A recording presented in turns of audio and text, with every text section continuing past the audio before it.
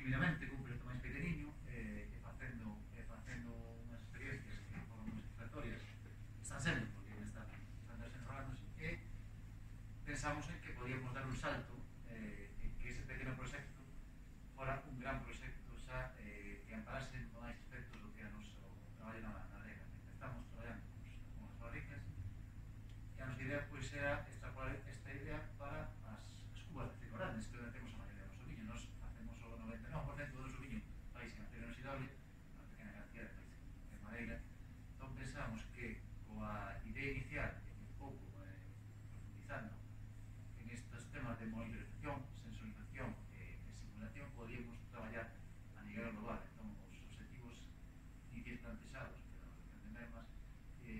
máis alá, ir máis alá, eh, chegando a digitalizar e a